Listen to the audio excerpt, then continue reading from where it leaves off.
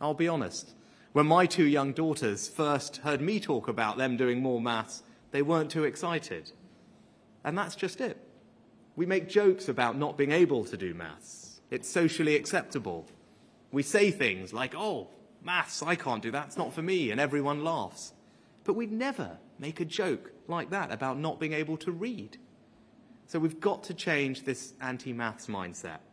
We've got to start prizing numeracy for what it is a key skill, every bit as essential as reading. Every opportunity that I've had in life began with the education that I was so fortunate to receive, and maths was a critical part of that. Now, I knew it was important then, and when I look at how the world is changing, it's only going to be more important for my children and yours. So I won't sit back and allow this cultural sense that it's okay to be bad at maths to put our children at a disadvantage. We've got to change this.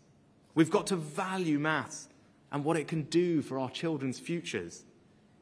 Giving our children a world class education is the single most important thing we can do.